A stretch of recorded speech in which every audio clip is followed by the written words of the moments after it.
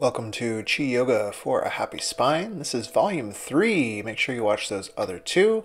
Quick reminder this is not medical advice. For this session, you might need some blocks or even books will work or anything you can use to stack yourself up with. And you might also want a chair like this folding chair that I have here. That said, let's get into it. We're going to start seated I'm shown here sitting on the floor, but you could also do this sitting in a chair. And we're just going to take a moment and let the body settle so that it feels effortlessly upright. Let your head gently lift up, let your muscles fall with the force of gravity. In yogic tradition, they imagine like a spiritual spine in the center of the body, lifting you up. Now we're going to take this twist. So you take one hand over to your opposite knee, the other hand behind you. We're going to inhale and lift that inner central spine. And as you exhale, relax a little further into the twist. We've got about one more breath here. The inhale lifts up. Exhale relaxes a little further. And then on an inhale, come back to center. Settle for a moment. And then you'll head over to the other side. Hand goes to the opposite knee. It's the same if you're in a chair as if you're on the floor inhale, lifting up like through this little central channel right in the middle of the body to the crown. On the exhale, you twist a little further into the stretch. The inhale lifts you up. The exhale, you relax a little further into the stretch. Coming on back on an inhale. Now we're going to take ourselves into a side bend. So you're going to take one hand over. I like to be on my fingertips personally. The arm is going to go overhead. And same thing here, you can inhale and feel like the central channel of the body gets longer. And on the exhale, you can reach out a little further. These are just our warm ups, so you don't need your deepest stretch here. Breathing gently and naturally. And then heading to the other side, placing the hand down. You could go with your palm on the floor as well, or even use those blocks to find the perfect stretch for you. If you're in the chair, you can't reach the floor, but you can still reach up with that upward arm. Give yourself a gentle little side bend. Then coming on back to the center, and we're going to move into this dragon spine undulation. We did this standing a couple videos ago, but basically you're just making a wave through your spine. This is going to help to warm up all these tissues of the core of the body. And according to Qigong theory, it helps to massage these energy channels and their little acupoints that flow up through the spine and even down through the front. Then we're going to rotate our navel. This is an old yogic exercise for developing the inner heat and unwinding the chakras. But here we're doing it just to loosen up these tissues. Go the other way. Just a gentle warm up. And then come back to center and again envisioning this central spine from the crown of the head straight down through the base. Then we're going to come up into a one knee lunge, into a one knee lunge. And we're going to get started with a psoas stretch. So to stretch your psoas, you're going to need to keep the tailbone tucked under, and then you can come forward into that lunge. Then adding some movement, we're going to inhale as the hands go up and we lunge forward and exhale as we come on back. Keep that tailbone tucked under as you inhale, lunge forward. Exhale, come back, and one more time. Inhale. You should feel this maybe in the front of the thigh or even deep in the front of the abdomen. Inhale it up, and now we're going to do side bends. In Qigong, this is called monkey picking fruit. So it's almost like you were picking the fruit up on a tree and it was just out of reach. You can breathe naturally on this one or coordinate the breath however you like with these movements.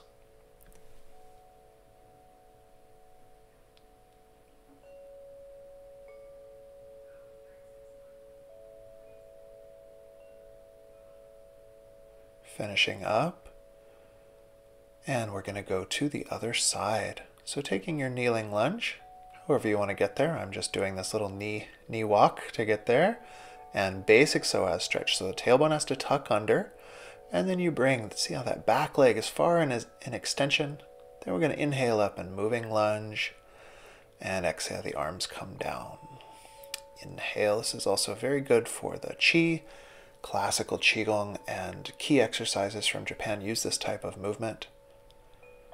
And exhale it on down. Inhale it up. And monkey picking fruit. Stretching, getting those side bodies a nice little side bend.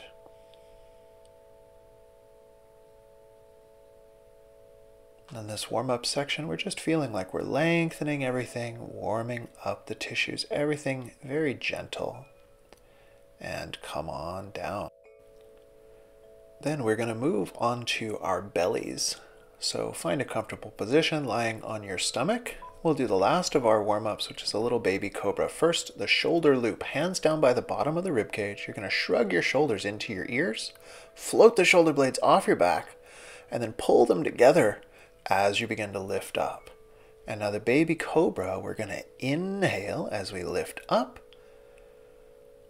and exhale as we come down. I'm using mostly the strength of my arms here rather than doing this as a back exercise. And notice that I'm not cranking my head up and back. So I really want to lift the heart, even though the heart won't come through an awful lot in this baby cobra. You really want to make this a heart opening and gentle spinal extension exercise. Then come down and rest. Transitioning, and now we are going to move into some core strengthening postures. These come from the Shaolin tradition. Come onto your back and let's get into it. So, when you're ready, you're going to take your hands, they're going to be in this diamond shape under your back. Thumbs are touching, index fingers are touching, covering over your kidneys and your lower back. And then you're going to inhale up into a bridge pose. And if you can, you're going to hold your breath here for about a five count. Otherwise, just breathe naturally. And then you're going to exhale down. Now, the traditional visualization is as you inhale, you imagine a blue light, like from the whole universe. It comes in and fills your kidneys and you're going to hold your breath there, visualizing this blue light filling those kidneys. Again, feel free to breathe naturally if that breath hold is at all uncomfortable for you. let's go one more time. On the inhale, the blue light comes in. You pause the breath. You feel those kidneys are glowing with this blue, blue color. After about five, you come on down.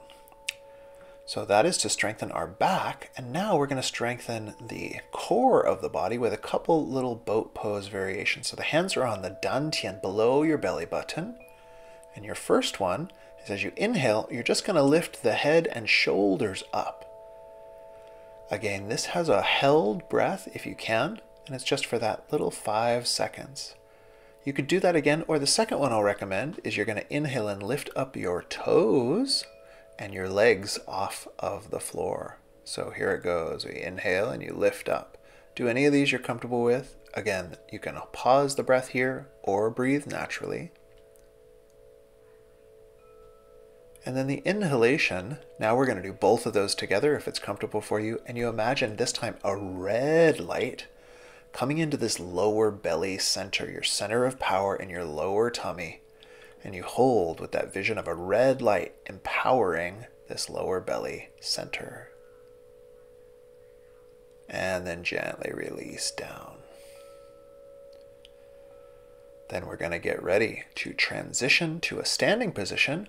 Make sure you do this by bending your knees and rolling to your side so that you keep your spine in this nice state of balance that we've been working to put it in rather than sort of just cranking it around like we sometimes can do. So come on up to standing, and now we're going to work the fusion of fire and water. So you're going to get into a horse stance. Feet are the width of the outside of your shoulders, one hand on the belly, one hand on the back, and you imagine this blue light from the kidneys and the red light from that belly are meeting together like a little yin yang symbol swirling together, and they're creating a steam that pervades your body, filling your body with a healing energy and power. Then we do a breathing exercise. So as you inhale, your hands come up, you feel that steam being formed. And as you exhale, it comes out through your hands, out through your feet, as the whole body is filled with this steam. So it's inhale, the fire and water mix. Exhale, whoosh, fills the whole body, even coming out of the palms and the soles. One more time. Inhale. And exhale, steaming the entire body. Then the same thing we're going to do with our hands out to the sides. Inhale And exhale. This healing steam fills the body and even comes out through the hands and the feet. Inhale. It mixes in the center of the belly. And then exhale. One more time. Blue and red energy mixing together, and a healing steam pervades the body. Now you can keep that visualization up as we go through the rest of the exercises if you like, or just let it go. But next we're going to move into triangle pose. So here I turn my left toes out, my right toes in, and I take that side bend. Here's the variation with the block and the chair to make this triangle pose really easy for you. If you already know how to do a triangle pose, then obviously just do the version that works best for you. Breathing naturally, turning your heart up toward the ceiling, and then when you're ready, come on up. We're going to switch to the other side. And here's that standard triangle pose. The triangle pose is really valuable because it stretches your side bending muscles, but it strengthens them at the same time. And this becomes an expert pose for uh, twists in the spine. What do they call scoliosis? Uh, so we want to balance out stretching and strengthening these side bending muscles. Then when you come up, the traditional way is you can use your spine, the strength of your back muscles to lift you up. But you can also see on the chair, I bend that front leg and actually use it to press myself up. So whichever one works best for you, that is our triangle pose. Now we'll turn back to the first side and you're going to come down into that kneeling lunge again. But here we are going to take the twisting side angle pose. So you can have one hand down and you twist into that bent leg or here's an easy variation with the block. And we just stay here and breathe for a moment. Just like before, you can inhale, feel the spine lengthen, and you can exhale and relax into the twist. Then coming on down, and we're going to take a hamstring stretch. So straightening out that front leg, if that's comfortable for you. And then here's the variation with my hands on the floor. Most of us, though, will be a little more comfortable with our hands on blocks or bricks or a stack of books, whatever you might have handy. Don't put your hands on your knee because that kind of pressure, uh, hyperextending the knee, can actually be bad for that joint.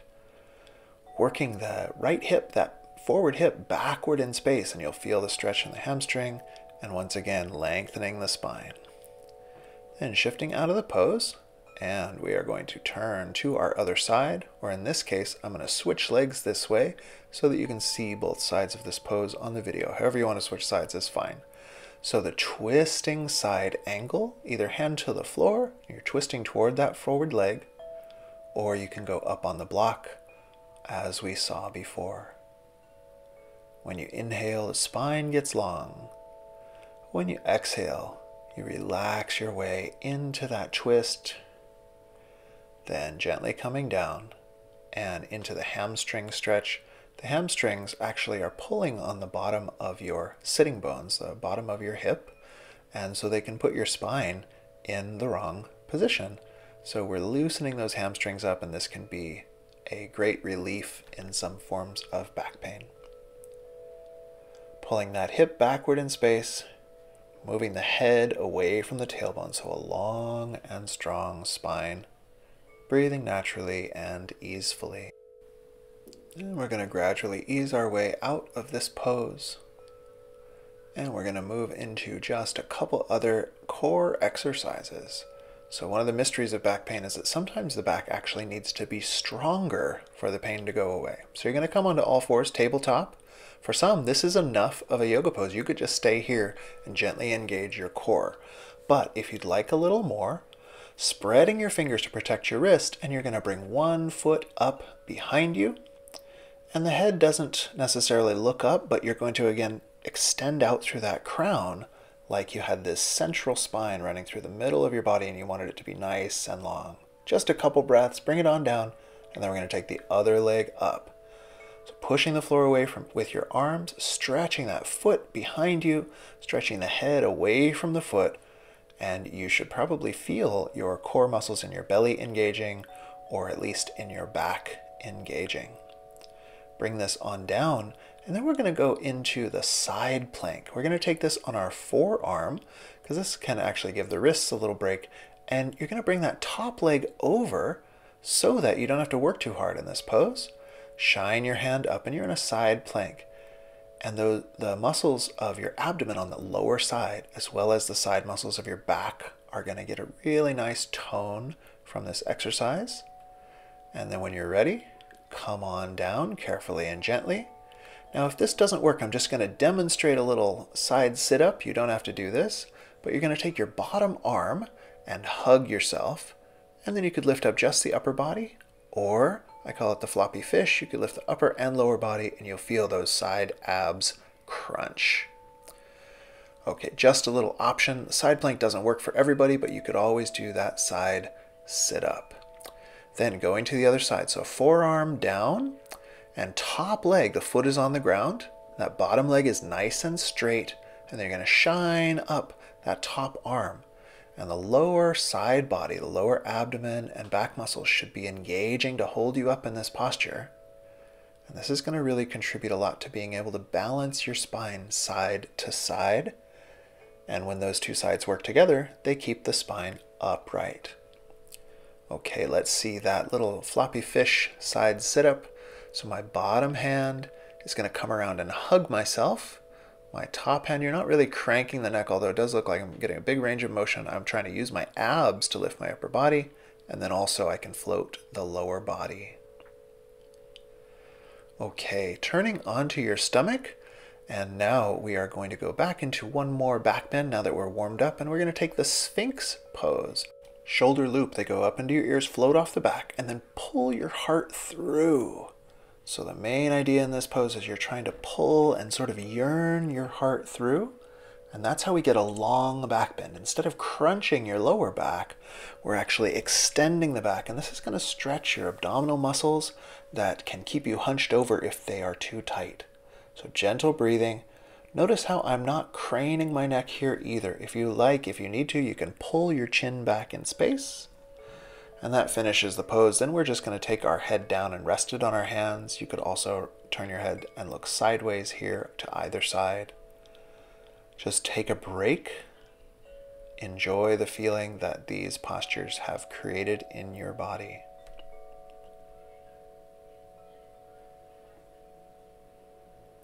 And the best part of every session is the final rest. We're going to do a traditional Shavasana, but the option I would like to suggest for you is that you take your chair, if you have a chair handy, and you're actually going to put the knees up on the chair.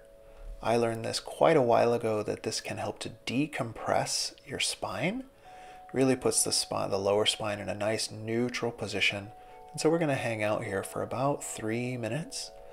Traditional Shavasana, just lying flat on the floor, is also fine, or you could make this with a big old bunch of pillows, or with a couch or a coffee table. So, whatever works for you. I'm resting my hands on my lower dantian.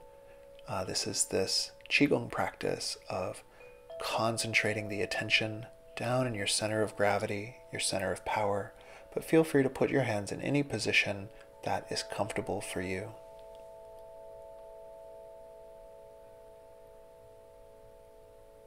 Resting here. Just notice the effects of this session that we've done. Savor and enjoy anything that feels enjoyable or beneficial from your practice today.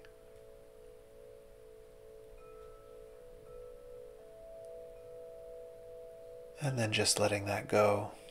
Abide for a moment in spaciousness and ease with nothing whatever to do.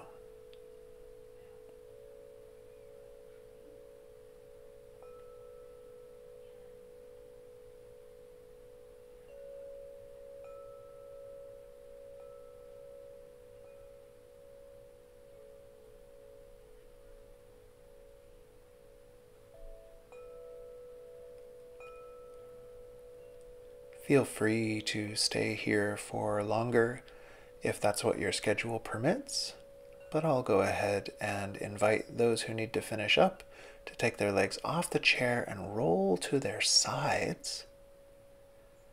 And you can take a break there on your side for a minute. And then when you are ready to come up, use your arms.